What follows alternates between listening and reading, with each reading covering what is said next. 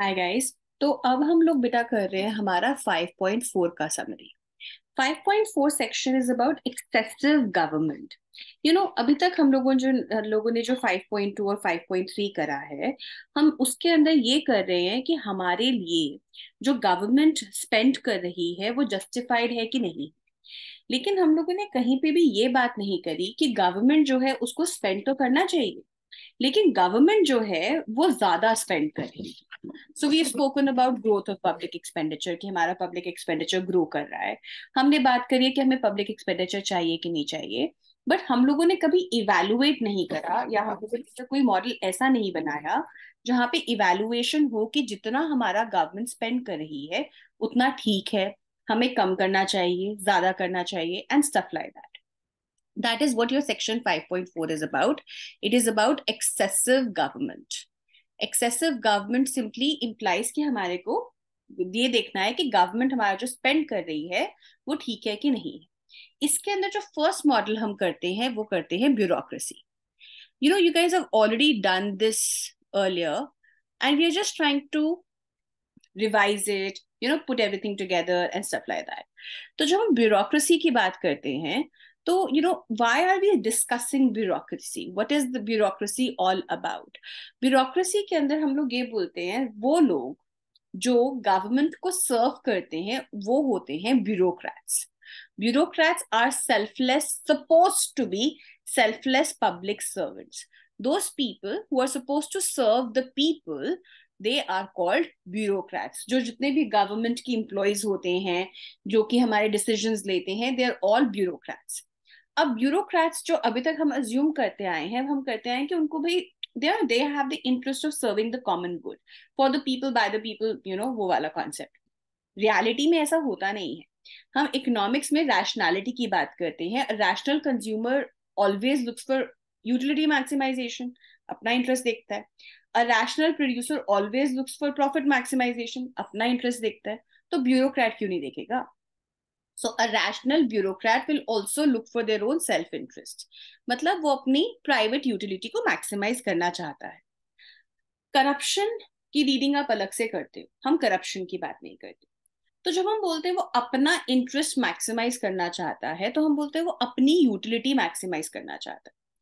क्योंकि वो अपनी पोजीशन से पैसा नहीं कमा सकता, इसीलिए वो पावर कमाना चाहता है।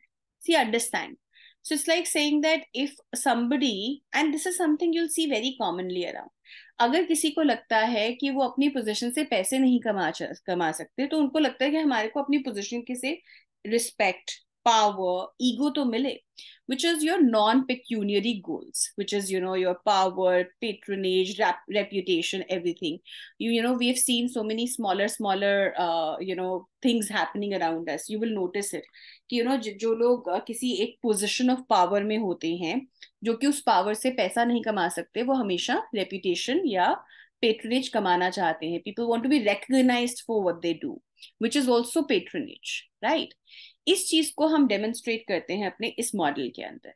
हम बोलते हैं कि जो एक ब्यूरो है ब्यूरोक्रेट मतलब जो इस ब्यूरो को रन करता है, जैसे एक आपका I would say power becomes one bureau और education becomes another bureau you know like जो डिफरेंट डिफरेंट मिनिस्ट्रीज होती हैं imagine them there there different different bureaus उन मिनिस्ट्रीज के अंदर जो सब मिनिस्ट्रीज होती हैं, वो भी अलग अलग ब्यूरोज हैं. So your M C D is one bureau so ऐसे बहुत सारे अलग अलग अलग अलग ब्यूरोज हैं.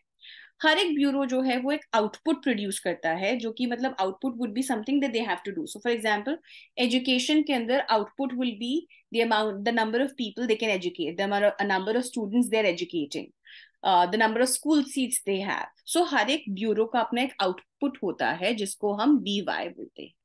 B Y is the amount of output okay Y is the output Y is the output sorry Y is the output and B Y is the amount of budget for that output so again like I said in my classes so you know budget जो होता है, वो amount वो पैसा होता है जो central government इस ब्यूरो को देती है, जो गवर्नमेंट मेन गवर्नमेंट इस ब्यूरो को देती है ये आउटपुट प्रोड्यूस करने के लिए।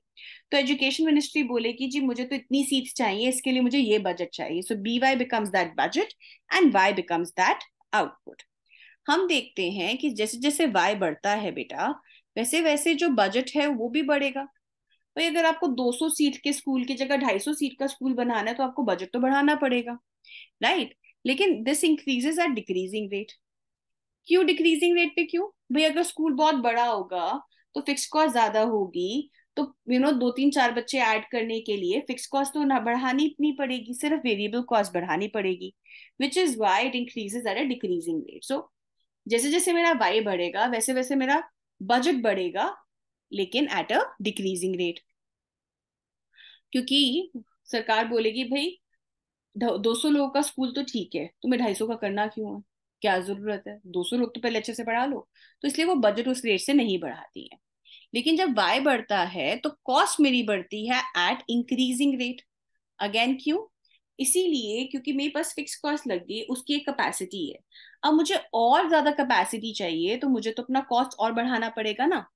सो why increases so मुझे बजट मिलता है, लेकिन डिक्रीजिंग रेट से because government feels it doesn't need as much money because अगर आप 200 की जगह 250 लोग का स्कूल बना दोगे, फिर बोलोगे 250 की जगह 300 का करना है, वो बोलेंगे इतने ज़्यादा लोगों को हमारे को why do we we need to provide we have other resource things also that हमें करनी है।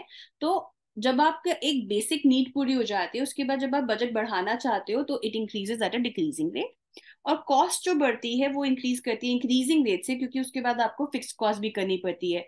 आपको अच्छी अच्छी टीचर्स भी रखनी पड़ेंगी, बहुत कुछ करना पड़ेगा राइट और हम बोलते हैं कि गवर्नमेंट जो है, वो किसी चीज़ में नहीं जाती। गवर्नमेंट जो है, वो सिर्फ़ बजट एलोकेट करती है, उसको कॉस्ट से कोई लेना देना नहीं रियलिटी में नहीं होता but that is what we तो अब ब्यूरोक्रेट क्या करेगा? ब्यूरोक्रेट को चाहिए पावर पेट्रनेज तो इसीलिए वो चाहता है कि वो अपना बजट जो है वो बढ़ाए, क्योंकि जितना उसके पास पैसा ज़्यादा होगा, उतने उसके पास पावर ज़्यादा होगी to spend that money the way they want to so which is why my maximisation problem becomes what maximise B Y budget ताकि पावर मैक्सिमाइज हो।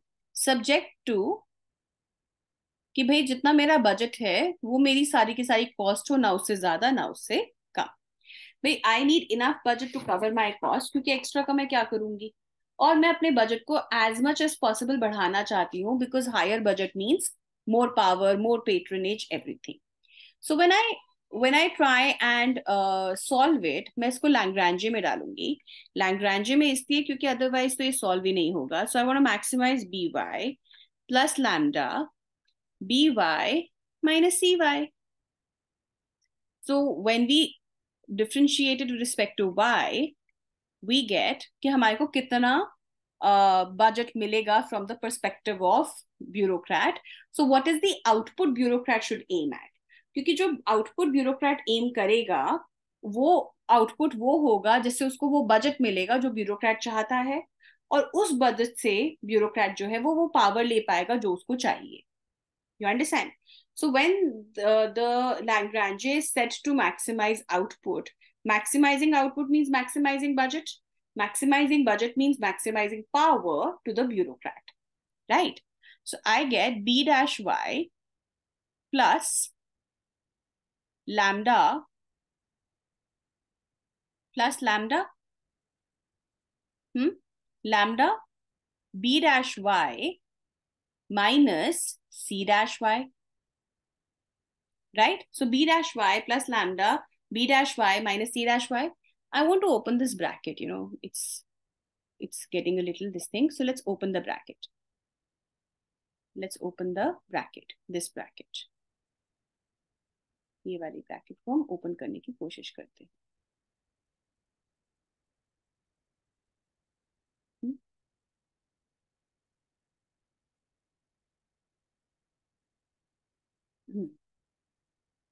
तो जब हम इस ब्रैकेट को ओपन करते हैं then I get lambda into this and lambda into this should be equal to zero so I will write B dash Y plus lambda B dash Y is equal to lambda C dash Y so if I open the bracket I get one plus lambda B dash Y is equal to lambda C dash Y so my b dash y becomes equal to lambda upon 1 plus lambda uh, c dash y.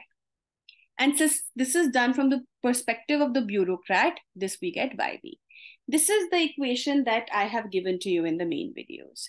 So it says that जब हमारे पास lambda जो है, if lambda, which is your Lagrangian multiplier lambda, is greater than zero, if lambda is greater than zero, then definitely 1 plus lambda is greater than lambda. भाई of course, क्योंकि अगर lambda is greater than zero, point one भी होगा तो भी one point one जो है वो वन ग्रेटर है ना इसका मतलब ये हो गया कि अगर ये जो है this is less than this then इस इक्वालिटी साइन को आने के लिए आई रिपीट माई सेल्फ अगर मेरे पास ऐसा है कि ये इससे ज़्यादा है ये ग्रेटर है इससे तो इसमें इक्वालिटी साइन आने के लिए ये छोटा होना पड़ेगा ना I see I tell you आप इस इक्वेशन को देखो हाँ इस इक्वेशन में ये वाला पोर्शन इज़ ग्रेटर देन ये वाला पोर्शन तो ये हैव टू बी स्मॉलर ना because only when a larger variable is multiplied by the smaller variable will it equalize to smaller into the larger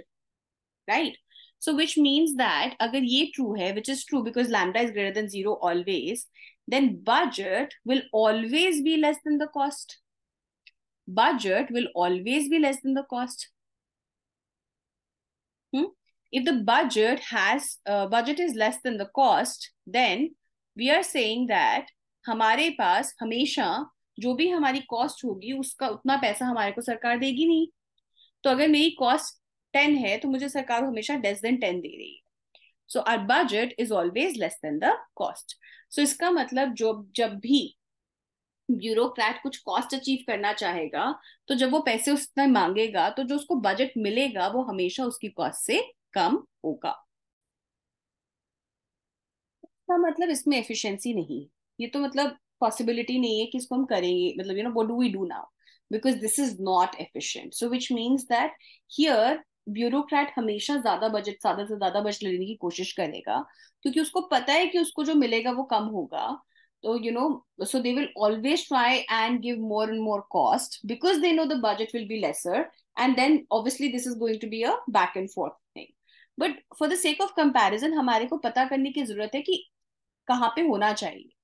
उस केस में हम बोलते हैं कि इमेजिन करो कि एक ब्यूरो जो है, या तो वो परफेक्ट कंपटीशन हो सकता है या मोनोपली हो सकता है। परफेक्ट कंपटीशन हो या मोनोपली हो, दोनों केस में फर्म जो है वो क्या करने की कोशिश करती है?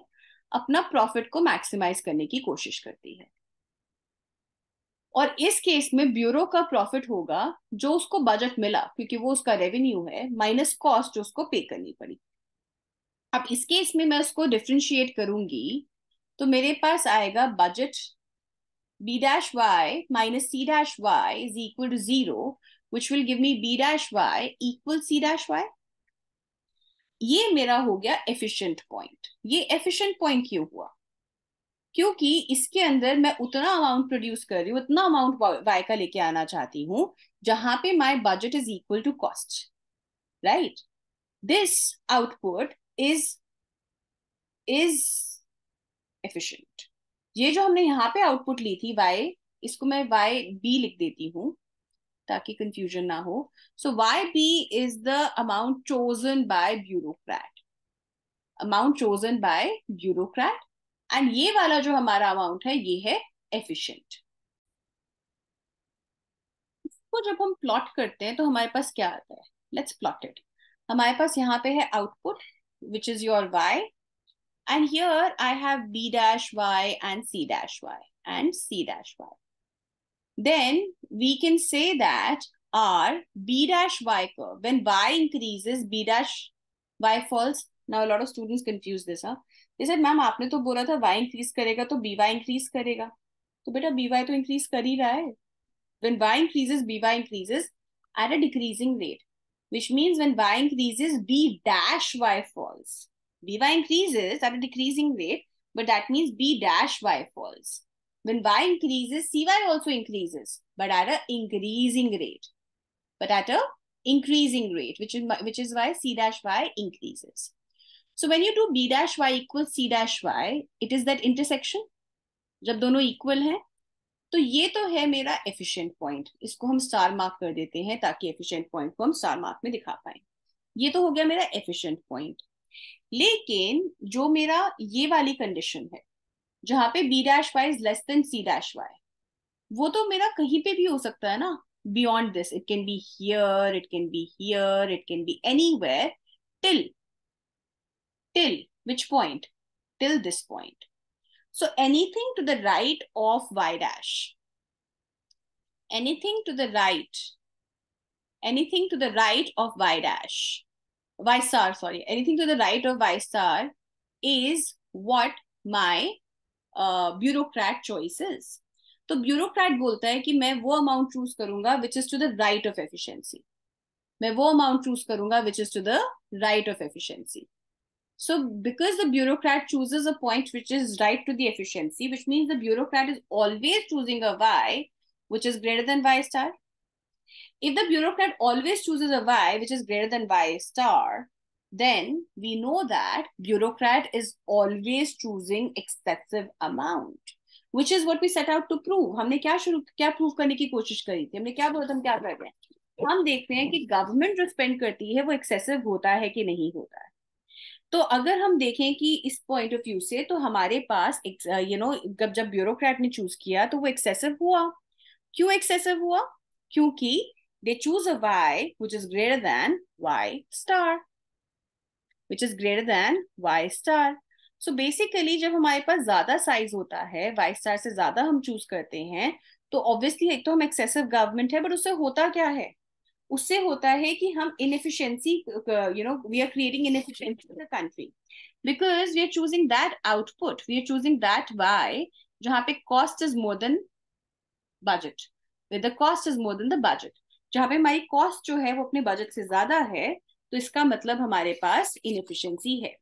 Now, a of uh, times BY is also referred to as not budget but benefit. एक ही बात है। अगर हम बेनिफिट की बात करें तो benefit also increases at a decreasing rate in fact हम अज्यूम करते हैं कि जब जो गवर्नमेंट बजट देगी वो बजट देगी उस हिसाब से जिस हिसाब से बेनिफिट है। क्योंकि बेनिफिट जो होता है वो हमेशा increases at a decreasing rate होता है। You know the benefit of educating a child versus not educating a child is very high but the benefit of educating the child a class more like ninth instead of only till eighth is not as much so benefit also increases at a decreasing rate and uh, uh, budget also increases at a decreasing rate so you can actually interchange it if it helps you understand it better okay so this is your excessive government ka first model which is bureaucracy bureaucracy apne aap mein ek important model है क्योंकि इसमें से question आते हैं The next model is budget setting rest of the models जो है ना excessive government के, वो इतने इंपॉर्टेंट नहीं है, लेकिन फ़र्स्ट वाला जो अभी हमने किया, वो काफ़ी इंपॉर्टेंट था। तो दूसरा मॉडल है बेटा which is 5.4.2 which is called budget setting बड़ा स्ट्रेट फॉरवर्ड मॉडल है। सो so बेसिकली हमने बोला कि एक्चुअली देखा जाए तो ब्यूरोक्रेट को आउटपुट पे तो कोई इंटरेस्ट है नहीं। उसको तो फ़र्क पड़ता है बजट से। वो बोलता है जितना ज़्यादा बजट उतनी मेरी पावर क्योंकि मुझे तो बजट चाहिए ना स्पेंड करने के लिए। तो वो क्या करता है, वो हर साल अपना बजट बढ़ा देता है। तो पिछले साल अगर उसको पचास रुपए मिले थे इस साल, वो बोलेगा मुझे साठ चाहिए, सिक्सटी चाहिए, सिक्सटी मिले थे तो बोलेगा सेवेंटी चाहिए। विदाउट एनी राइम और reason about the output output का कोई कंसिडरेशन नहीं है। The idea is to just have an increase budget तो एक होता है जो हम बजट क्लेम करते हैं, जो हम बोलते हैं हमें चाहिए। दूसरा होता है बजट जो हमें मिलता है। तो जो हमें मिलता है, वो होता है बजट बी और जो हम क्लेम करते हैं जो हम मांगते हैं उसको हम बोलते हैं B with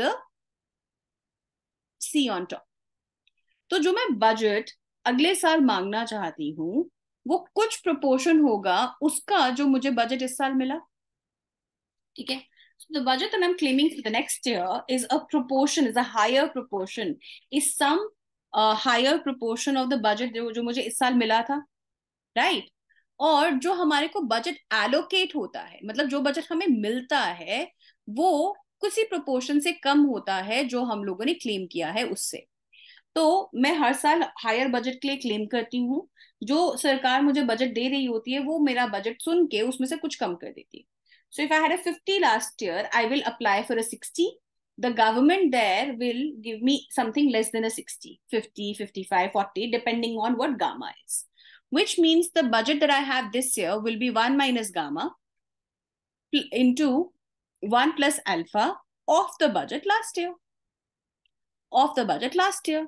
ठीक है तो जो लास्ट ईयर का बजट है उससे मेरा कुछ बढ़ जाएगा कुछ कम हो जाएगा उससे मेरा कुछ बढ़ जाएगा कुछ कम हो जाएगा so this is how it is so मुझे पता है कि जो गामा है that is less than one which means that I have some proportion जिससे मैं अपना बजट जो है मतलब अगर मैंने वन मांगा तो ये थोड़ा कि सरकार बोलेगी, मैं तो नेगेटिव दूँगी मतलब मैं आपसे ले ही लूँगी। ऐसा नहीं होता ना? So gamma is less than one which means that gamma is the rate जिससे वो बजट जो है डिफ्लेट हो जाता है, जो सरकार, जो कैबिनेट उसको डिफ्लेट कर देता है। तो अगर हम बोले कि अल्फ़ा जो है, वो ग्रेटर देन गामा है देन ऑटोमेटिकली माई बजट जो है that will grow over time और अगर अल्फ़ा जो है, वो लेस देन गामा है देन बजट जो है that will reduce over time तो अब हमारे को ये नहीं पता कि अल्फ़ा और गामा का क्या वैल्यू हो सकता है, क्योंकि कुछ भी हो सकता है. Either of them is possible which is why we say that we don't know कि जो गवर्नमेंट है, वो एक्सेसिवली स्पेंड कर रही है कि वो नहीं कर रही है. Right third model model number three is your monopoly power. Model number three is monopoly power. Monopoly power. So here, again काफ़ी सिंपल मॉडल है मोनोपली पावर का मतलब होता है कि हम बोलते हैं कि एक्चुअली हमें डिमांड एंड सप्लाई से सब कुछ देखना चाहिए गवर्नमेंट गवर्नमेंट क्यों बनती है? क्योंकि उसके पास मोनोपली होती है। भाई सैनिटेशन में कोई और नहीं है ना तभी तो सरकार है। गवर्नमेंट यूजुअली उन्हीं चीज़ों में होती है जिसमें प्राइवेट प्लेयर नहीं होता। तो क्योंकि वो मोनोपली होती है इसीलिए पब्लिक सेक्टर जो है वो उतना एफिशिएंट हो ही नहीं सकता क्योंकि वो मोनोपली है। सो so, हमारे पास सबसे ज़्यादा एफिशिएंट होता है परफेक्ट कंपटीशन वो हमें पता है। लेकिन क्योंकि वो मोनोपली है, इसलिए उतनी एफिशिएंट नहीं हो पाती सिंपली बिकॉज़ उसके पास कॉस्ट कम करने का कोई रीजन नहीं है। एफिशिएंट होने के लिए कोई इंसेंटिव नहीं है, क्योंकि और कोई फर्म ही नहीं है। इंसेंटिव के अलावा उनके पास कॉस्ट कम करने के करने के लिए जो टेक्नोलॉजी चाहिए, जो सब चीज़ें चाहिए, वो भी नहीं होती है। ठीक है? एक तो मोनोपली है, इसलिए नहीं हो पाता। दूसरा मोनोपली के अंदर रहते हुए भी गवर्नमेंट सेक्टर क्या करने की कोशिश करता है? मार्केट कैप्चर मतलब they want to provide the service to all free education is free for all respective क्योंकि वो ज़्यादा से ज़्यादा मार्केट कैप्चर करने की कोशिश करता है तो ऑटोमेटिकली हमारे पास मोनोपली का जो रिस्ट्रिक्शन होता है वो खत्म हो जाता है। सो so, अगर आप देखो cost benefit analysis it's not in there in the books मैं आपको वैसे ही बता रही हूँ ये मेरी डिमांड है ये मेरा सप्लाई है।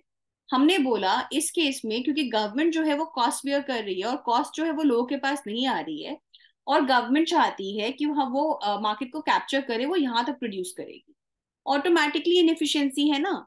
और यही चीज़ हम देखते हैं एजुकेशन में हेल्थ केयर में। तो वो वो लेवल ऑफ़ आउटपुट प्रोड्यूस करना चाहती है, जहाँ पे सब लोगों को वो दे पाए विच ऑटोमेटिकली इम्प्लाइज कि उसके अंदर एफिशिएंसी नहीं आएगी। Okay, that is what we discussed. Model for corruption.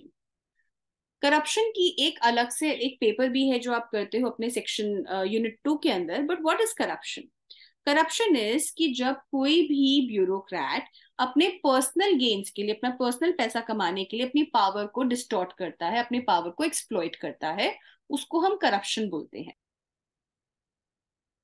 From an economic stand point corruption is very very interesting corruption में क्या होता है? हम बोलते हैं कि अपने पर्सनल गेन्स के लिए जब कोई अपनी पावर को एक्सप्लॉइट करता है like we said is called corruption अब करप्शन के अंदर एक्चुअली होता क्या है? यू नो गवर्नमेंट ने मेन बॉडी ने ऐसे रूल्स बनाए, जिनके अराउंड जाने के लिए लोगों को ब्राइब पे करनी पड़ी।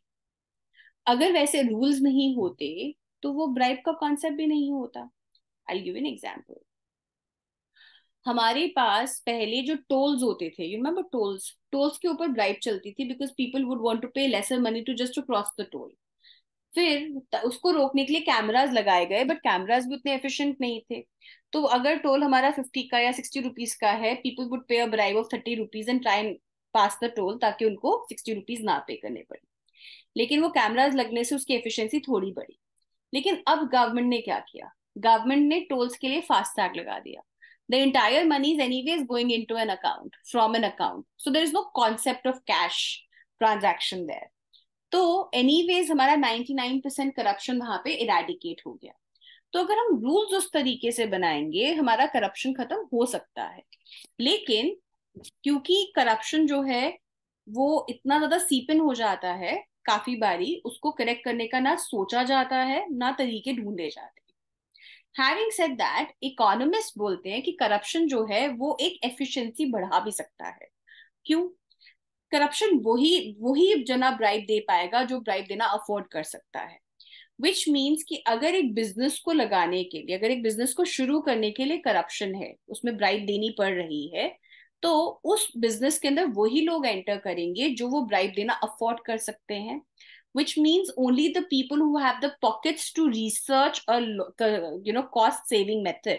जिनके पास पैसे इतने हैं कि वो नई टेक्नोलॉजी में इन्वेस्ट करके कॉस्ट को रिड्यूस कर पाए वही एंटर करेंगे। सो so, ऑटोमेटिकली हमारे पास एफिशिएंसी जो है वो बढ़ जाएगी।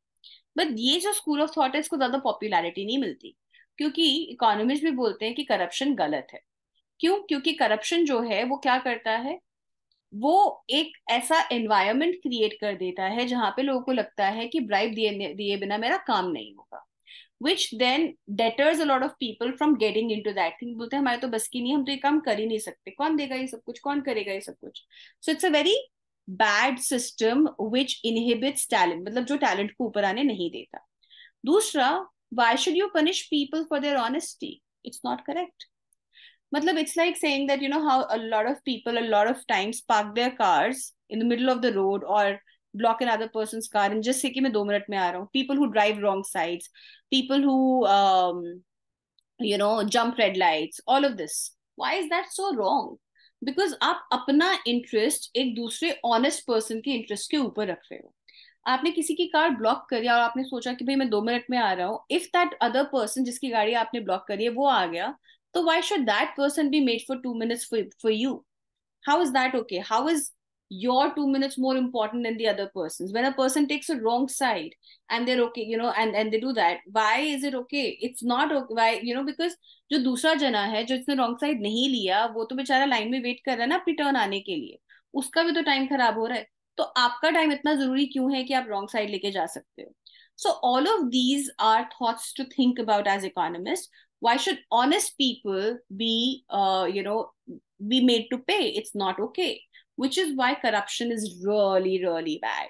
You know one should be punished for their wrong tasks and in the right manner so that corruption can be taken away. Corruption ko hum khatam kar sakte hain the second important model of excessive government is government agency. Government agency What does it say? Of course, we've covered this model really well earlier, but let's just do it very quickly. हमारे पास दो तरह की cost होती है low या high we have high uh, uh, high cost low cost to producing a good the benefit of the person who gets the good is bg मतलब benefit with respect to g and उसमें से उसको tax पे करना पड़ता है तो minus T ऐसे ही जो गवर्नमेंट है उसके लिए बेनिफिट क्या होगा? जो उसको टैक्स मिला माइनस जो उसने कॉस्ट पे करी जी की। इसलिए सोसाइटी के लिए जो नेट बेनिफिट आया, वो आया BG minus C G BG minus C G तो बीजी हमें फ़ंक्शन नहीं पता, लेकिन सीजी हमने अज्यूम किया है कि it's a constant cost per unit into the public good so C is the constant cost per unit into the public good which is what we assume कि हमारे पास कॉस्ट है। तो अगर तो गवर्नमेंट की कॉस्ट लो है तो वो सी एच क्लेम करेगी, उसको सी एच मिलेगा। अगर गवर्नमेंट की कॉस्ट ज़्यादा है ज़्यादा, कम कम है तो वो सी एल क्लेम करेगी, उसको सी एल मिलेगा। और अगर ज़्यादा है तो वो सी एच क्लेम करेगी तो उसको सी एच मिलेगा। ठीक है? अब क्या होता है कि इसको हम रिप्रेजेंट करते हैं। हमें पता है जैसे जैसे जी बढ़ेगा, वैसे वैसे benefit increases at a decreasing rate right we have a high cost of producing that good and we have a low cost of producing that good. So CH into G and CL into G. And of course we have G and we have benefit. हमें पता है कि हम हमेशा benefit को maximise benefit minus cost को maximise करने की कोशिश करेंगे अगर हम मैक्सिमाइज करने की कोशिश करेंगे बेटा तो ये पिंक लाइन जो है पहले सी एच की तो मैं सी एच कहाँ तक प्रोड्यूस करूँगी my C H will be till here wherever the two lines are parallel to each other wherever the two lines are parallel to each other like this hmm? wherever the two lines are parallel to each other. So this is my GH. ऐसे ही अगर मैं देखूँ कि अगर मेरे पास cost जो है वो सी एल है, ये वाली है then how much is my G L I will again take this which is parallel. The idea is why parallel क्योंकि पैरल जब होता है, तब हमारे पास दो lines के बीच का गैप मैक्सिमम होता है. So these two are parallel so this becomes my G L this becomes my G L तो अब क्या होता है कि अगर गवर्नमेंट के पास हाई कॉस्ट है फिर तो गवर्नमेंट कुछ कर नहीं सकती, बात ही खत्म लेकिन अगर गवर्नमेंट के पास low tax low low cost है तो गवर्नमेंट मिस रिप्रेजेंट कर सकती है अपने आप को ये बोल के कि मेरी कॉस्ट तो हाई है लो तो नहीं है। तो जब वो मिस रिप्रेजेंट करेगी तो वो एक्स्ट्रा टैक्स जो है वो लोगों से ले सकती है। क्योंकि मेरा टैक्स जो है वो क्या होगा? वो होगा या तो C H into G H या फिर होगा C L into G L depending upon whether the cost is low और हाई तो अगर गवर्नमेंट की कॉस्ट लो भी है तो गवर्नमेंट मिस रिप्रेजेंट कर सकती है अपनी हाई कॉस्ट के लिए। जब वो मिस रिप्रेजेंट करेगी अपनी हाई कॉस्ट के लिए तो जो दोनों के बीच में गैप होगा into GH is what they can earn which is extra तो इसीलिए गवर्नमेंट को इंसेंटिवाइज करने के लिए कि वो वो अपने कॉस्ट को मिस रिप्रेजेंट ना करे टैक्स पे को एक एक्स्ट्रा अमाउंट पे करना पड़ता है which is R which is greater than zero जिसको हम बोलते हैं इंफॉर्मेशनल रेंट इंफॉर्मेशनल रेंट इसलिए क्योंकि करेक्ट इंफॉर्मेशन निकालने के लिए हमें ये रेंट पे करना पड़ेगा as taxes so that the so that the government tells the correct cost how much will be this rent be this rent be will be C H minus C L into G H भाई C H G H जो है वो मैंने बोला मेरी cost है। C L मेरी actually cost थी। तो C L C H minus C L into G H जो मैंने यहाँ पे मार्क किया ये मुझे पे करना पड़ेगा as a informational rent to ensure that जो हमारे को गवर्नमेंट कॉस्ट बता रही है वो करेक्ट बता रही है। जब यू you नो know, वो बताएगी तो फिर मुझे you know then that is how I will achieve efficiency because I want the government to tell me the truth अगर वो मुझे सही नहीं बताएँगे अपनी कॉस्ट का तो ऑटोमेटिकली एफिशिएंसी तो अचीव होगी ही नहीं। Right we are also given that P H is the probability pH is the probability, uh, you know, cost is high with the probability pH and cost is low with the probability of PL. Hmm? One. हाँ जी so we are saying that cost जो है वो low है with the probability PL cost is high with the probability PH तो अगर हम लोग अपना एक्सपेक्टेड बेनिफिट मैक्सिमाइज कर लें subject to the government telling us the truth, then we'll have the efficiency point. So if we are able to maximize our expected benefit with the condition कि government हमें truth बता रही है तो हम लोगों ने क्या अचीव कर लिया efficiency. So let's build that equation. Equation is not important, but still I'm doing it because you know a lot of people said that they're not understanding it. So my expected benefit, expected net benefit will be 1 minus PL, which is pH, of course, but into the benefit when the cost is high. The benefit when the cost is high, क्योंकि जब cost high होगी तो वो G H choose करेगा और उसकी cost C H होगी और वो जी एच जो है C H into G H वो स्पेंड करेगा। तो ये तो हो गया जब उसके पास कॉस्ट हाई थी। जब कॉस्ट लो है उसके पास तो ऑटोमेटिकली उसका जो बेनिफिट है वो तो है benefit from G L right लेकिन क्योंकि उसके पास कॉस्ट लो है तो वो ऑटोमेटिकली क्या कर सकता है? वो जब उसके पास कॉस्ट लो है, तब वो अपनी कॉस्ट को गलत बता सकता है। जब वो कॉस्ट को गलत बताएगा तो वो प्रोवाइड तो फिर भी जीएच करेगा। Right right? और उसकी एक्चुअल कॉस्ट कितनी होगी? उसकी एक्चुअल कॉस्ट होगी I just take a bracket here C L into G H उसकी एक्चुअल कॉस्ट होगी। हम्म? लेकिन उसको जो मिलेगा, उसको मिलेगा क्या? उसको मिलेगा आर क्योंकि जो टैक्स उसको पे होगा टैक्स जो उसको मिलेगा that will be plus R तो उसको एक तो बेनिफिट मिला प्लस उसको आर मिला। एंड आर क्या है? R is your R is your C H minus C L into G H right तो इसको, ये मेरा एक्सपेक्टेड बेनिफिट है। इसको हम लोग डिफ्रेंशिएट करते हैं del of expected benefit with respect to GH. with respect to GH. So I get PL, 1 minus PL into B dash GH minus CH plus PL into B dash GH B dash GH minus CL plus plus CH minus CL plus CH minus CL. Right? So this is what I have with respect to the differentiation of GH. But we say that जब हमारे को उसने R pay कर दिया for the information, then the government will be truthful about their information. And when the government will be truthful about their information, तो जब उनकी cost low होगी, तो वो ऑटोमेटिकली बता देंगे कि वो लो है। तो अगर वो बता देंगे कि वो लो है तो ऑटोमेटिकली मेरा ये एक्सप्रेशन ये वाला एक्सप्रेशन और ये वाला एक्सप्रेशन खत्म हो जाएगा। It will not exist any more it will not exist why will it not exist क्योंकि हम लोगों ने क्या बोला? हम लोगों ने बोला, और यहाँ पे इंटू पी एल आएगा। क्योंकि हम लोगों ने बोला कि R is my information cost जब हमने वो इन्फॉर्मेशन कॉस्ट ही पे कर दी तो हमारे को इन्फॉर्मेशन तो करेक्ट मिलेगी ना? So I get this expression so I have one minus P L into B dash G H minus G C H minus C H Plus C H minus C L into P L so I can take this to the other side.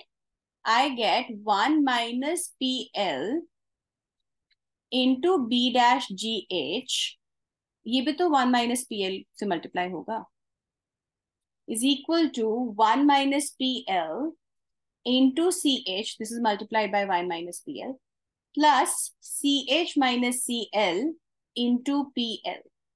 Hmm? To create space, I'm just erasing this here and I'm taking that equation up.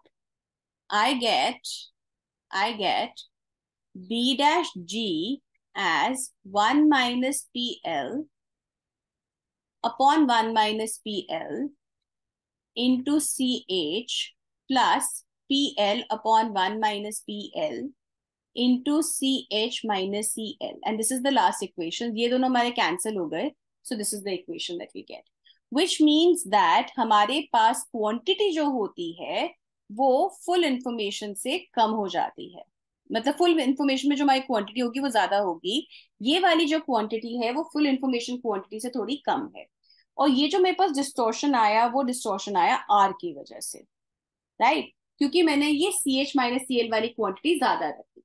अगर otherwise क्या होता? जब मेरे पास सी H है तो मैं G H provide करती। अगर सी एल है तो जी एल प्रोवाइड करती। लेकिन अब मेरे पास क्या हुआ? जो मेरे पास क्वांटिटी आई, क्योंकि मैं इंफॉर्मेशन कॉस्ट पे कर रही हूँ आर पे कर रही हूँ तो इसलिए ये क्वांटिटी मेरी कम रह गई।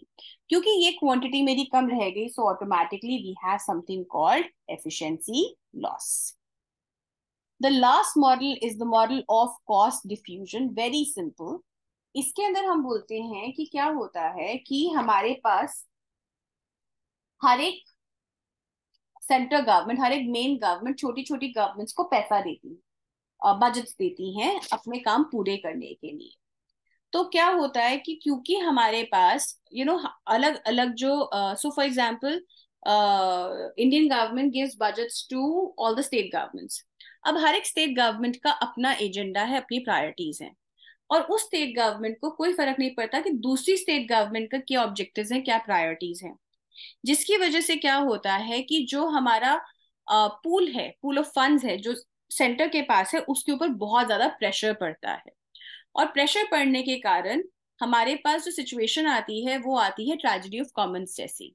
ट्रेजिडी ऑफ़ कॉमन्स जैसी क्यों आती है? क्योंकि उस you know so we need a certain amount of money to run the business to run the government we need a certain amount of money to enforce the laws we need a certain minimum amount of money ताकि हम tax collect कर पाए। जब हमारे पास जो पैसा इकट्ठा होता है उसके ऊपर ज़्यादा बर्डन आ जाता है तो जो छोटे छोटे हमारे यू नो एक्सपेंसेस होते हैं उसको हम कम करना शुरू कर देते हैं। तो इवेंचुअली क्या होता है हमारे पास इतने पैसे ही नहीं बचते बचेंगे कि हम अपने इन्फोर्समेंट को इतना स्ट्रॉन्ग कर पाए अपने टैक्स कलेक्शन को इतना स्ट्रॉन्ग कर पाए जिसकी वजह से हमारे रिसोर्सेज uh, के ऊपर प्रॉब्लम आ जाती है और एफिशिएंसी कम हो जाती है।